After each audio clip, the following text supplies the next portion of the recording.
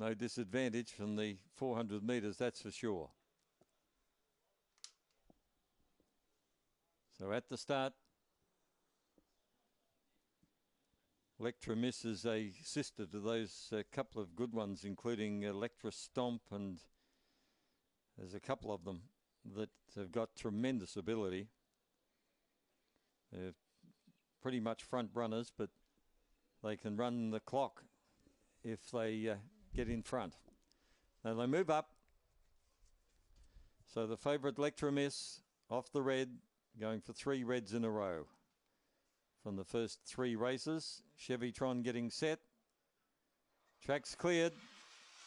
Stand by.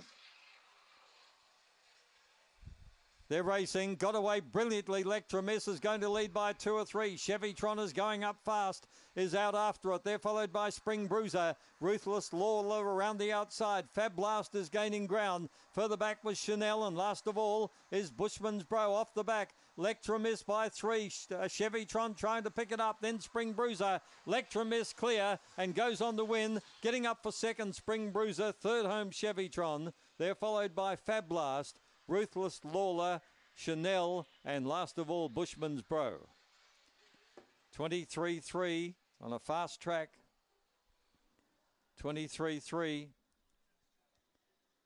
The winner, number one, Electra Miss, flew the start, lobbed two in front, was soon four in front, and that was the end of the penny section. Spring Bruisers come home to get second, Chevytron for third, and fourth was Fab Blast, number six. It'll be one, three, five, six.